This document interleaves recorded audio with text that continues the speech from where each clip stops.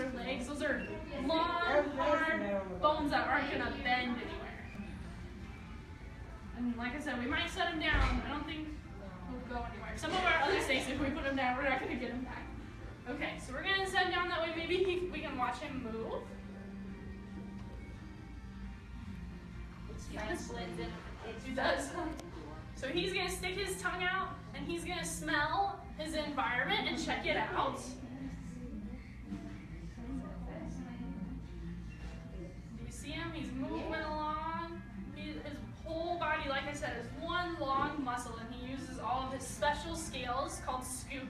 Belly to scoot along or to slither forward. He's more for- fortunate than the one you have that doesn't have all that in his back, which is sure. Oh, LJ, yeah. Okay, we'll bring him around one more time in case you want to touch him again. And then we'll meet our last animal. Doosan's fun. I like him because he has like a little face mask. He gets a, a little mouse. We call them hoppers because they're not quite as large as other mice, but he eats once a week. If he grows a bit bigger, we try to give him a little bit bigger of a meal. So they can eat something as big around as his belly. But if the meal mouse is too large to them, if they look at it and they're like, oh, that might be too large, then they won't eat. So we try to give them something that they can look at it and say, okay, I can eat that. Sometimes, yeah. They are pretty smart. You want to touch him this time? You don't want to touch Don't it, know. Misty? Touch it. He's so soft. He's Touch him, smooth. Dee. A lot of people think that snakes are slimy because they're shiny from their scales, but they're actually not. They're nice and dry and smooth. Huh? Is that how you felt?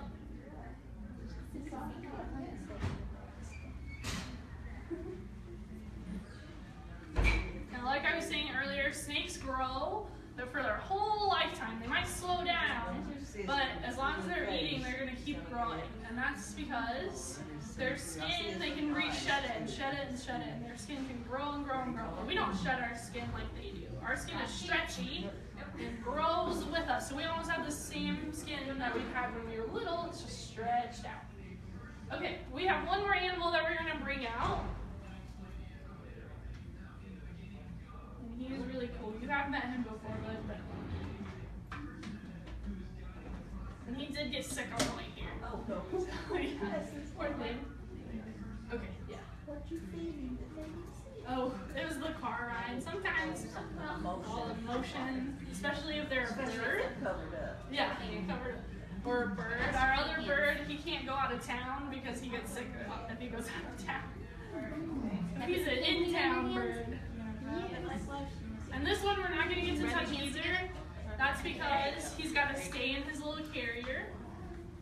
If we get birds at usually a young age, or if they're trustworthy enough, then we can we can teach our birds that we are the safe zone. But our bird here, he never really learned that. So if he were to get spooked, if we had him out of his carrier and he were to get spooked, he would fly off. So that's why we're going to keep him in his carrier. We did bring some blueberries, which are his favorite, and he might eat one of them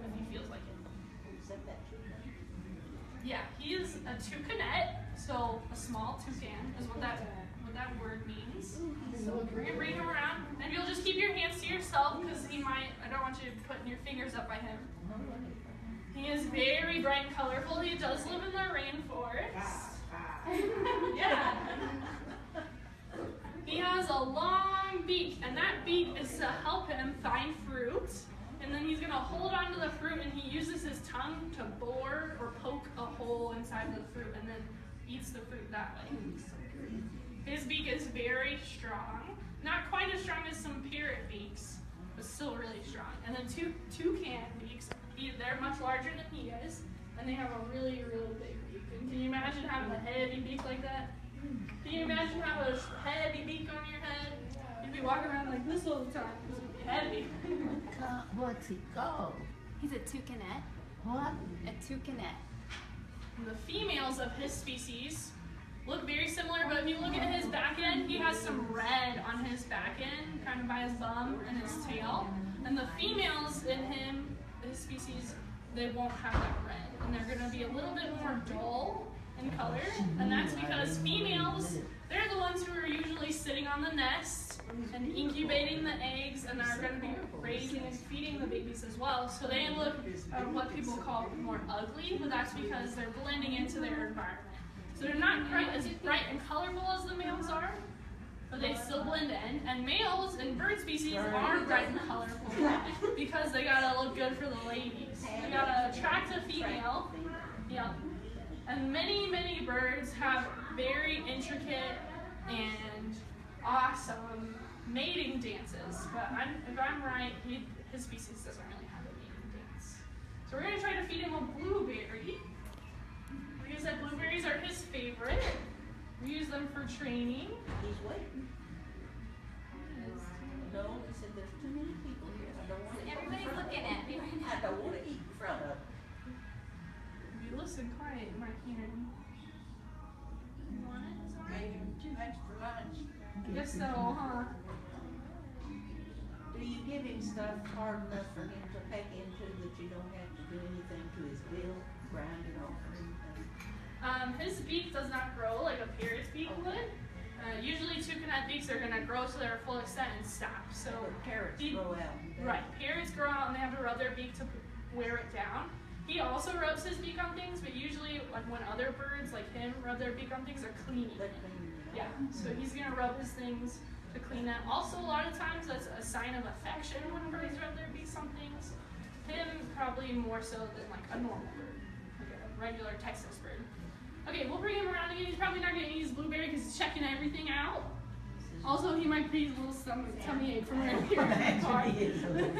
Imagine he is a little bit. I wouldn't want to eat ache from riding in the car 'cause he got sick coming up here. He loves those blueberries. Now we we do something that's called targeting with our animals, and when we target an animal, that means that we have trained them to go to a certain spot, and we tell them a certain word, and then they go there and they're rewarded with a treat. So he gets rewarded with blueberries.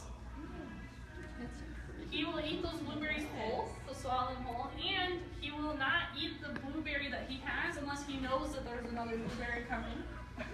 And if he accidentally eats that blueberry, not knowing that it was the last one he's going to get, he can actually regurgitate it back up. He can spit it back up and then hang on to it for a little while. If he felt like it, It sounds like teenagers. right? Very cool. And he's been very quiet. Guess maybe he's probably up his feathers for you. Okay. Yep, he has vocalizations. He's probably not going to do them now, but he does them a lot when we're when he's back home at the zoo.